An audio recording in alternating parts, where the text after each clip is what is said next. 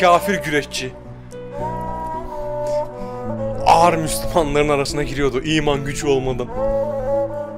Ama iman her şeyden kuvvetliydi.